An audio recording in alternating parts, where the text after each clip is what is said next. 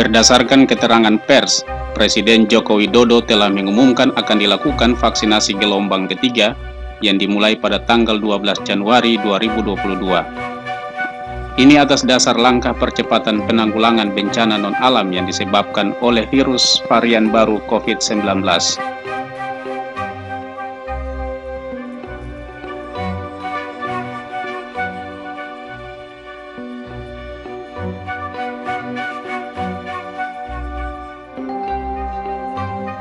Hampir seluruh provinsi di tanah air telah mencapai target 70% vaksinasi COVID-19.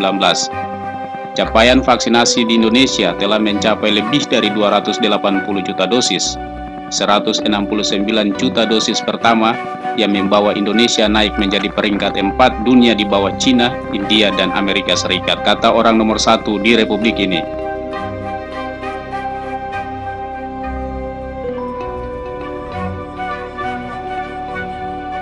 Sehingga itu lanjut Presiden Joko Widodo, vaksinasi tahap ketiga akan dilaksanakan mulai tanggal 12 Januari 2022.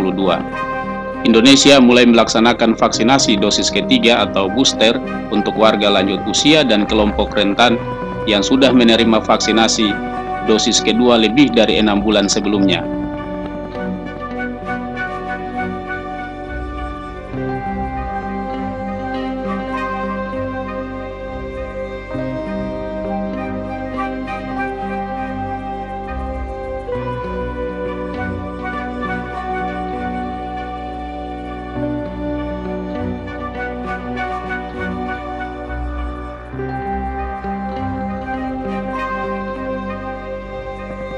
Vaksin-vaksin untuk booster yang sudah dipersiapkan, pemerintah telah mendapatkan izin penggunaan darurat dari BP POM, dari Sinovac, CoronaVac, Pfizer, AstraZeneca, Moderna, dan Z5X.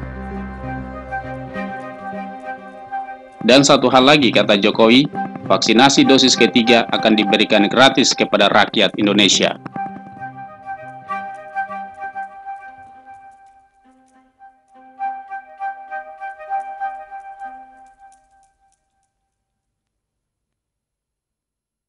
Mulai tanggal 12 Januari 2022, pemerintah akan melaksanakan vaksinasi ketiga dengan prioritas bagi lansia dan kelompok rentan.